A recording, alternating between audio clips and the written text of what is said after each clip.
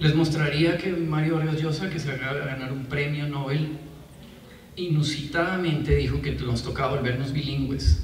Lo que él no dijo es que bilingüe quiere decir en este momento no solamente español, inglés, francés y otros idiomas, sino español, HTML, Java, iOS y todos los demás lenguajes de programación. El lenguaje más difundido en el mundo en este momento se llama HTML y no viene de ninguna de las academias que nosotros conocemos.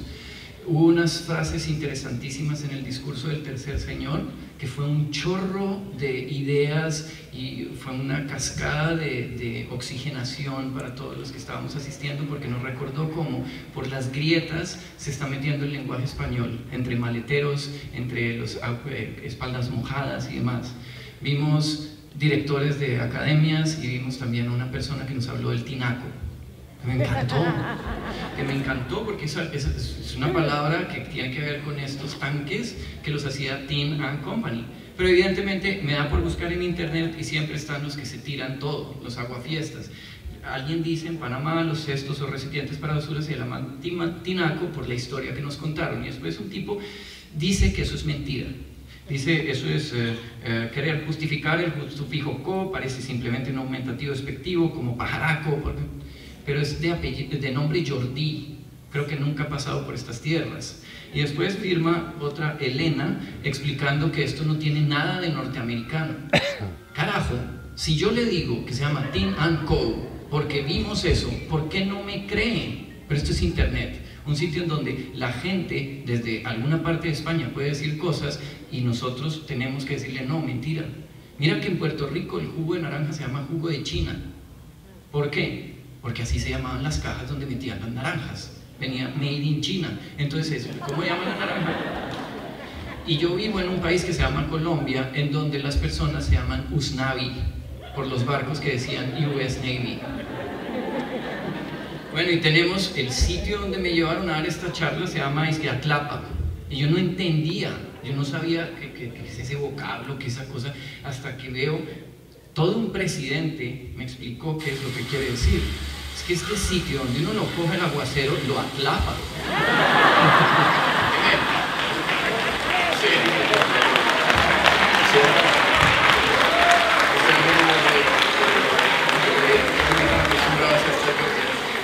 Claro, este, es un presidente de Uruguay, el tipo no está acostumbrado a la lluvia tropical, no lleva ni un sombrerito de Panamá, que eso ayuda mucho. O sea, yo vi Fitzcarraldo y me, me, encantó. Mire, vimos un príncipe, el tipo hablaba de cosas muy altas, muy largas, y él habló de cómo acá el Quijote entró y nos contó cosas. Y después, en la última conferencia de anoche, un profesor de Panamá nos contó que el Quijote era subversivo y recordó que Cervantes quería estar donde la acción estaba en esa época, es decir, ser gobernador al menos de una ciudad tan aburrida como Cartagena. Y no lo dejaron. Y por eso le dio por escribir esta cosa, que nos llegó y el español era el lenguaje subversivo. Era, haz de cuenta, eh, lo de los ebooks en este momento, ¿no? Y después un presidente nos recordó que, que los libros llegaron acá con los curas. Y siempre que vemos un cura vemos un libro pero yo nunca he visto una fotografía de un conquistador dándole a la lectura. Pero eso es curioso. Esta mañana me llegó el reporte anual de la Asociación de Impresores Internacionales, Publishers International, yo no sé qué, y esta es la división de todos los medios. El 17% va para TV, el 16% para suscripciones, el 15% para editorial, muy técnico, una cosa... Es más, esto es el mundo editorial, 40% other markets, los otros mercados, y el 26% son los gringos. Then, if you want to be alive, you have to be there.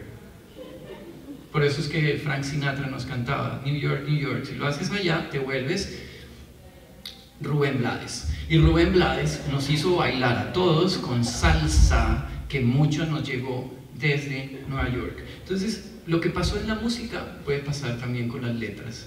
Y por eso vemos que ahora los grandes escritores latinoamericanos residen en los Estados Unidos.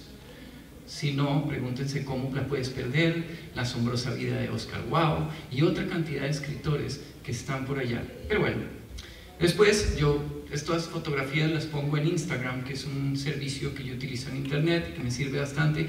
En la mañana de ayer nos dejaron una caja increíble con una cantidad de regalos a los que estamos acá sentados hablándoles y una de ellas es, es algo de lo que les voy a hablar. Es un libro que se llama Vasco Núñez de Balboa de 600 páginas. Ellos no contaban con que ya traemos maletas chicas porque en los aviones no nos dejan meter, pero esto es un libro que me tengo que llevar porque en, en una de las páginas dice que uno de los piratas que estuvo acá, que es un tema que me encanta, la piratería, es el señor William Dampier.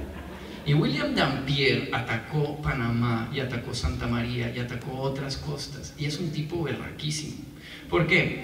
Porque resulta que, ah bueno, esto volvemos a mi herramienta. Mire que cuando yo tomo mis fotografías y comparto quedan todas geoposicionadas. Es decir, cada vez que yo pongo un granito de información en internet queda en el sitio en el que está. Entonces esto es Chiriquí. Y Chiriquí es una ciudad chiquita que le tuvo mucho miedo a este pirata Dampier. ¿Que dónde queda? Pues ahí, estoy viéndolo en el mapa, queda muy lejos de donde estamos. Este es para los ecuatorianos, un susto este pirata, pero resulta que este pirata sí tiene retrato con libro. No solamente escribió uno, escribió muchos. Es más, me compré uno mientras iba en el bus eh, hacia la ciudad de Panamá no pude comprarle Vargas Llosa porque no está a la venta.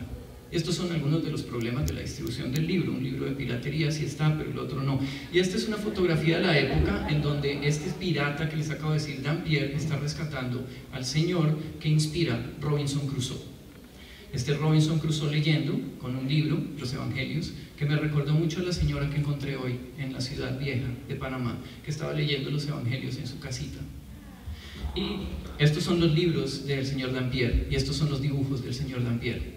Los dibujos del señor Dampier, porque aparte de robar eh, y meterse en las ciudades y llevarse las chicas bonitas como los piratas siempre han hecho, inspiró a Alexander Humboldt, Dampier. Y resulta que este señor fue el primer hombre que estuvo en Australia y todos sus dibujos inspiraron a Charles Darwin. Es más, en las notas de Darwin dice el viejo Dampy. Pero Darwin, sus hijos, dibujaron encima de la evolución de las especies. Este es el manuscrito de la evolución de las especies.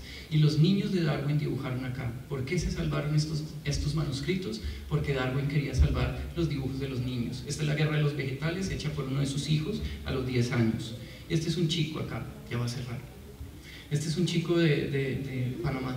Y este chiquito me mostró un gran tesoro que tenía, una letra X que recogió por alguna parte de la, de la ciudad. Y resulta que cuando le das juegos a los chicos, los chicos pueden hacer cosas interesantes. Este, esta presentación es un ebook y lo hice con una herramienta que se utiliza en los colegios norteamericanos para hacer ebooks. Lo hacen niños de primero elemental. Esta herramienta con la que se construyen libros electrónicos se puede utilizar así. Y ustedes dirán, no, pero eso, la brecha, esta es la directora de la Biblioteca Pública de España, sorprendida con algunos textos facsimilares que se pueden ver en el iPad, hablando con un amigo acá en... Pero este es un instrumento, y este instrumento llegó a nuestras tierras sin instrucciones.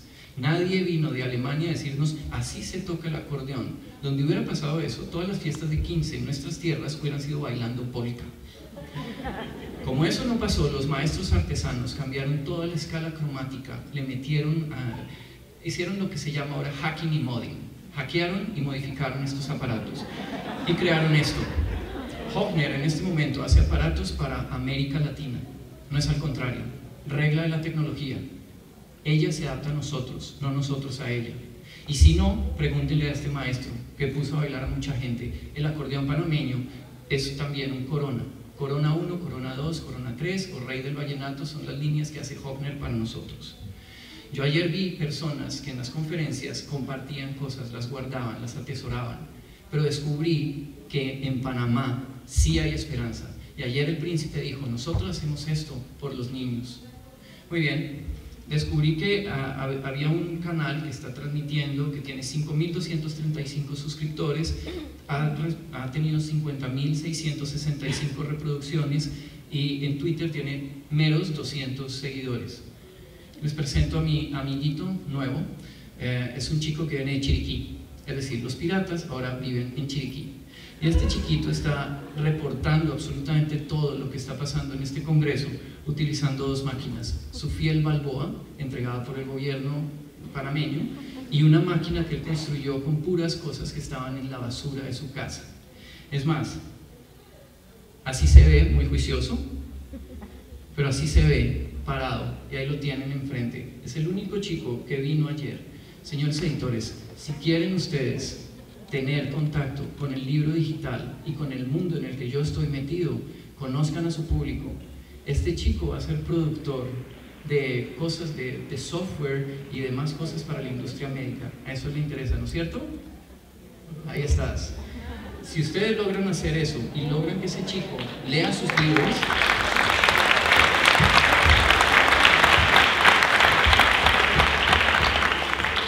nada de lo que yo les he contado es mentira. Todo esto puede pasar, no hay barreras. Las únicas, como dice Tito Páez, filósofo argentino, son cuestiones de actitud. Así es que los voy a dejar con señores que van a hablar de la ciencia, que van a hablar de las bibliotecas y que van a hablar de la distribución de los libros para que se den cuenta que esto que les conté no es mentira, es verdad y ya está pasando, no es el futuro. Gracias.